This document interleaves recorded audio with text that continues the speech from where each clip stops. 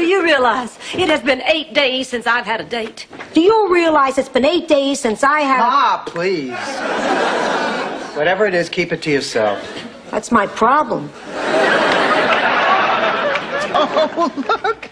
Here's one of us on a, on a bicycle built for two. I'll never forget that spring day in 1940. I was thinking... Ma, you're making this up. Rose, you idiot. There's no way I'm ever going to pass for a man. Dorothy, trade with me? Go to hell, Myron.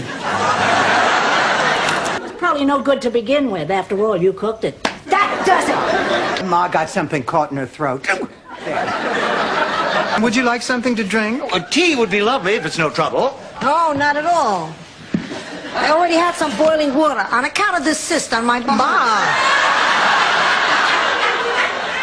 Now, there's no one home during the day to take care of it. I'm home during the day. No one lucid is home during the day. Why, you think I can't do it? You think I'm irresponsible? Yes, Ma. You think I'm forgetful? Yes, Ma. You think I'm irresponsible? You already said that. looking through the personals to find myself a man. Remember what that is, Dorothy? It's an animal. Kind of like a woman, except that it's got a... Ma.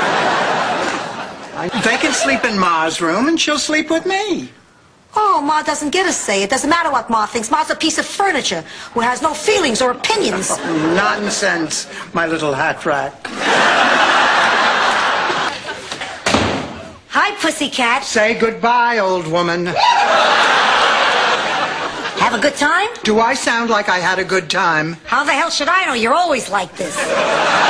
Maybe if I just whispered it.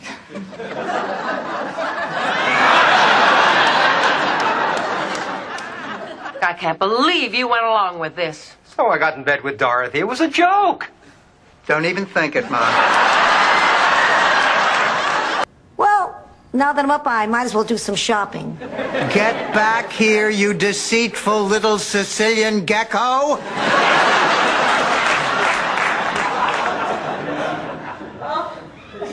I love you.